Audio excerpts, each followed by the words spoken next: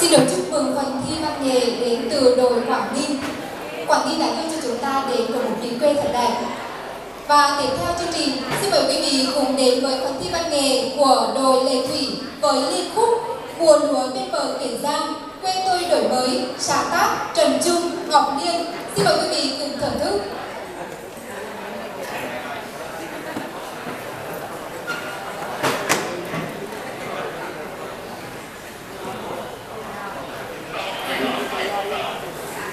Kính thưa ban tổ chức, ban giám khảo hội thi, thưa quý vị khán giả, đội thông tin lưu động huyện Lệ Thủy tham gia hội thi với chủ đề Hát mừng nông thôn đổi mới.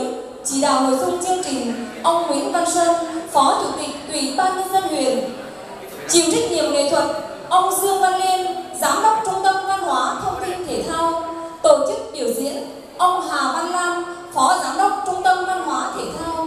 Biên đạo, Lê Hằng, Mai Lan, Thưa toàn thể hội thi, dòng kiến giang vui mùa hồi, thuyền về chở nặng lúa vàng, rộn ràng trên quê hương đại tướng, cầu mới qua sông lung linh rộn rã, tiếng hò khoan bay đua dậy sóng reo hò.